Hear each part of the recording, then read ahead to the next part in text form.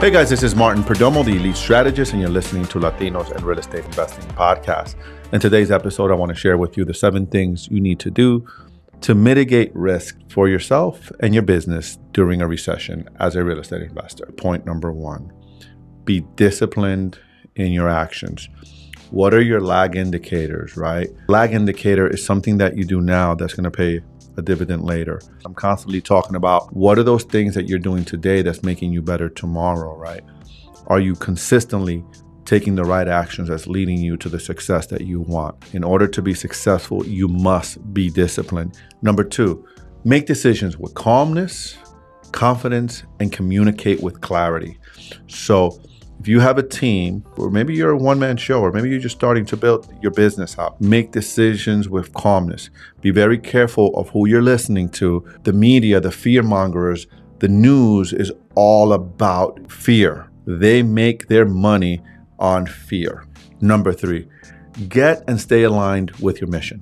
What is your mission? For instance, for us here at Skill Property Finders, our mission is to solve and help solve the affordability crisis in our country, is to create affordable housing, high quality affordable housing for families to live in so we can have a positive impact in communities. We know what properties we're going after. We know what we're solving for. We're making, we're investing with an impact.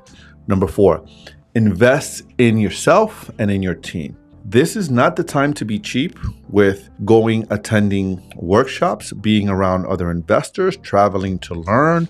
This is not the time to be alone. This is a time to be listening to books. It's a time to be for you to be in, investing in yourself. This is a time for you to be investing in your team, for you to be sending your team out to workshops, investing in in training for yourself. This is a time to be feeding yourself with positive reinforcing into your life and into your business.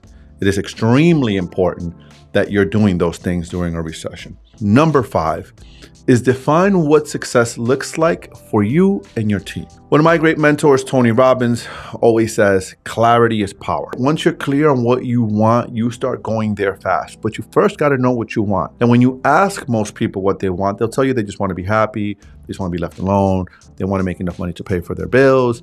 And that's fine, but that's not clear enough. You need to define what success looks like for you and for your team. You need to communicate to your team what does success look like for our organization. Number six, set wildly important goals right? Again, goes back to alignment with clarity. All of this is in alignment with everything I previously said. So set wildly important goals. What are your wildly important goals? What is it that you want? Do you want to own 100 units? Do you want to invest passively and you want to get a 15% return? What is it that you want? Do you want to earn six, uh, you know, six figures, hundred thousand dollars a year? Do you want to move up in the corporate ladder? Do you want to know what is it that you want? And number seven is break down your wildly important goals into quarterly milestones. The way a man eats an elephant is one bite at a time. Take that annual goal and break it down into four quarters. There's four quarters in a year, so every 90 days. Every 90 days, you're going to take that quarterly goal and you're going to break it down by months. What are the activities I need to be doing? And you'll be surprised. There's this great resource that I use that one of my mentors is a creator of this book, and it's called the Elite Journal by Don Wenner. And this is a book I personally use. My mentor actually created this book, and I'm going to give him a plug because my business has grown tremendously because of the things I've learned with him. And these, my friends, are the seven things that you need to do to mitigate risk in a recession.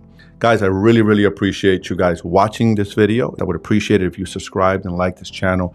It really helps with the algorithms, guys. I know that your time is gracious and your time is valuable and you could be listening to or, or watching anyone else, yet you're here listening to me. Thank you so much, guys. Really appreciate it. Thank you guys for watching. If you want to continue to watch videos like this one, make sure you click this video right up here. I think you might like it. Also, if you want to learn how to create wealth through real estate investing, make sure you check out my online course. The link to that course is down below, where I share with you how to get your first deal within 60 days. Thank you for watching, and again, peace out.